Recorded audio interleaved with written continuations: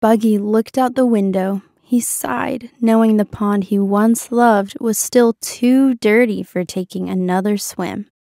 Oh, Mom, when will the pond be clean again? he asked. Well, Buggy, his mom answered, with all of the trash being dumped here, you will have to keep going to the pond in Frederick's yard if you want to swim.